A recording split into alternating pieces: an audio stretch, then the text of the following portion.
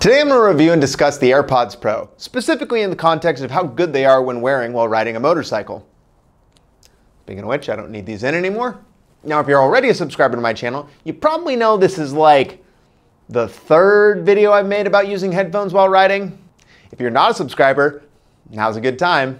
The first one talked about safety and legality of using headphones on a motorcycle. The second was about testing different styles and discussing the features you should look for in a set of headphones along with some recommendations. In that last video, I talked about how the normal AirPod design wasn't exactly ideal for using while riding, so the big question I had was if the AirPods Pro fixed all the issues I had with the AirPods to become my new go-to riding buds. You'll just have to watch the whole thing and find out. Or, you know, skip the last 90 seconds or whatever to find the conclusion. No, don't fucking do that. I've got a lot more than just some headphone review that's gonna be relevant for two months or whatever. I did a bunch of research on similar sets like the Galaxy Buds, Powerbeats, Plugfones, and all that shit because a bunch of people recommended sets that were similar to the AirPods, and I looked at all of them. And I got pretty concerned that a lot of you are running around blowing your eardrums out because you are not taking the proper precautions to protect your hearing with these things. Let's get into the deeper discussion of the things that people do with their phones while riding, technical details for how headsets reduce external noise, and wireless protocols used by these devices all kind of masked in an AirPods Pro review. Enjoy!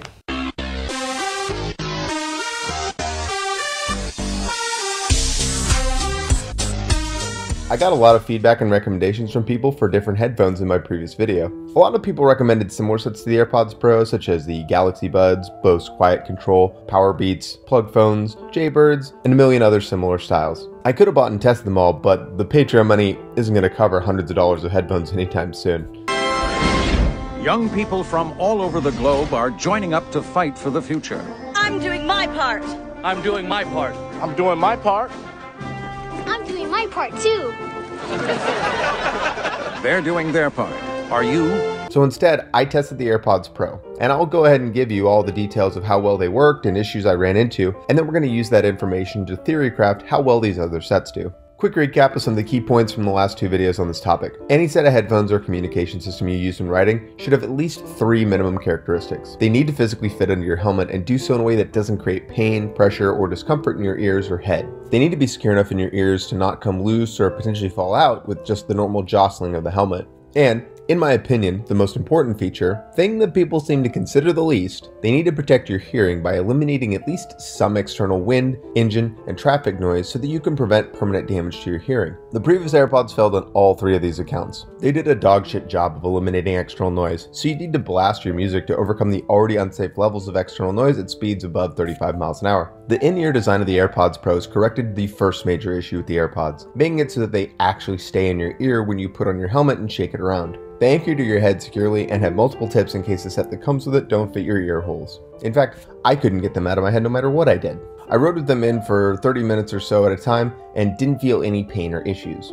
But your helmet style and design may create different problems for you. Some commenters said they removed the pain or pressure by modifying the ear pad area and removing some material from their helmet, which I wouldn't recommend for the record, but you do you, boo. Headphones fitting under a helmet securely is the easy part. Literally, Thousands of cheap sets of headphones will do that, albeit most aren't wireless like the AirPods Pro. And wireless is a neat feature, but not all wireless sets work or function in the same level. One advantage of the AirPods is that they use some cutting edge wireless tech. When we're talking about wireless technology and headphones, what we're really talking about is the various Bluetooth chipsets and protocols. Bluetooth is a radio frequency technology that's been around since 1989, but it's evolved over 30 years, and the AirPods Pro uses the newer 5.0 standard. Bluetooth devices have always been a mixed bag. In theory, Bluetooth is an automagical way to wirelessly connect two devices together. The wireless devices don't need to be in line of sight of each other, and the connection distance is measured in tens of meters, not feet. Amazing. Amazing! The reality though is that there is a huge variance in the quality of antennas, chipsets, and protocols being used between devices that can create a dumpster fire of frustration that has left Bluetooth a bit of a mixed reputation. Lots of people can give stories of at least one Bluetooth device that wouldn't stay connected, might regularly impair itself, or have bouts of poor audio quality and distortion. The number one complaint I've seen about stuff like the Senas is poor connection and audio quality. I'm sure much of which is caused by people using different models of varying ages and so have totally different wireless stacks. Well, Apple figured out how to fix all that Bluetooth shittiness by building their own custom wireless chipset called the W series chips in the previous AirPods and now the H series in the AirPods Pro. The AirPods Pro pairing is insanely quick, easy, and reliable. I never had connection issues at all, and the buds never lost sync with each other like some of the other sets I'll mention later. The H1 chip and Bluetooth 5.0 enable features like pulling one bud out to charge it while the other keeps playing, having multiple AirPods Pro connected to a single phone simultaneously so you could, if you wanted to, ride with a passenger who had their own set of AirPods Pro and be listening to the same music from one iPhone. Neato. But to do all this cool shit, you have to be running devices that also have Bluetooth 5.0 support, which any iPhone 8 and up does, but becomes a lot more of a crapshoot outside the Apple ecosystem. If your phone doesn't support Bluetooth 5.0, the AirPods will still connect and play sound, but will revert to the lowest common denominator of Bluetooth on your phone. This is why you can use the AirPods Pro on your piece of shit Android phone, but you'll be missing a lot of the reliability and ease of use you get when pairing them with iPhones. Calm down, calm down. I'm just kidding about Android phones being pieces of shit. We all know the only true master phone was the Nokia 3310, the phone that literally can't be killed. So the wireless on the AirPods Pro is awesome, but is wireless even a thing that you should care about? There's of course the convenience factor of not catching cables on stuff and running them under your jacket, but the real reason that people seem to want wireless is so that they can mount their phones to their handlebars and don't want to deal with the wire in between. When I first started riding, Thousands of years ago. GPS nav, music, text, emails, and video just weren't things you did with your phone. You could get a weatherproof GPS designed for hunting if you wanted and jury rig yourself a pretty mediocre navigation system on your handlebars, but most people, including me, didn't spend the money on that shit because it was hundreds of dollars and I was fucking poor in my 20s. Instead, I just got pretty good at planning trips with MapQuest and memorizing directions. Holy shit, I'm so old! When phone based audio navigation became a thing circa 2012, it was a massive upgrade for me, and it made it so I just needed to get the basic overview of how to get somewhere and then let the turn by turn do the rest. This is how I've done navigation for years, and the reason wireless earbuds are more of a nice to have than a requirement for me because I don't mind running a cable from the pocket my phone sits into my head. But now that everyone has a supercomputer in their pocket that can do all kinds of cool shit, some people want to have access to their phone screens as much as possible, including while they're riding. And if you want to put your phone on your handlebars but still be able to hear music or audio navigation, well, that seems to be where most of the demand comes from for wireless headphones. A lot of comments and questions in my previous video seem to indicate a fair amount of you are doing the thing of putting your phone on your bars, and I'm not surprised because it seems like almost every one of these fucking motor vloggers is doing this shit. I'm sure the fact that some of these guys are laying her down in completely normal turning situations is not related. That Will Terrific guy wrecked his bike on purpose, and there's not a goddamn thing any of you could say to me to convince me otherwise. Also, Epstein didn't kill himself. You know that I'm not safety guy. And I know that some people are more capable behind the handlebars than others, but as a blanket statement, I think you shouldn't do this.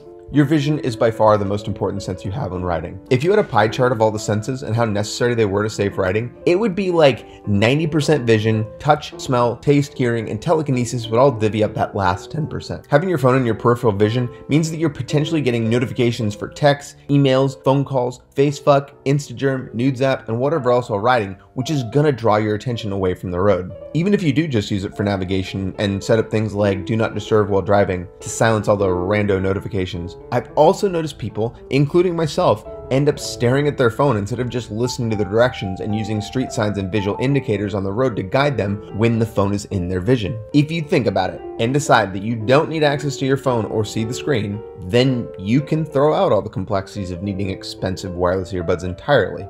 Just one man's opinion.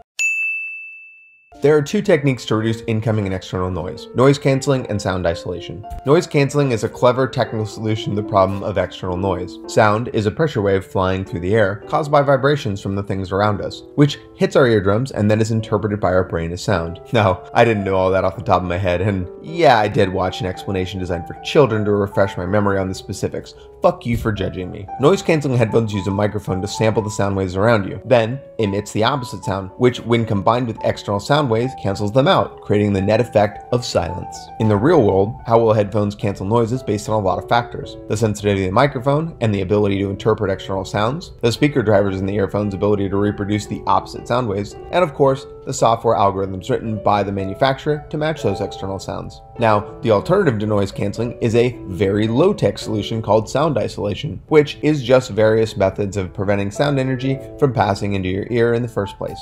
As an example, I'm guessing you are familiar with the incredibly common sound isolation technology used for literally centuries earplugs. The headphones I talked about in the previous video that I use are something like the Shure SE series because they block out a significant amount of external sounds with their foam earbuds the same way that earplugs do, allowing me to play my audio at safe volumes. With the only side sacrifice being that I can't hear shit outside of my headphones. That leads us to the most important question of this video.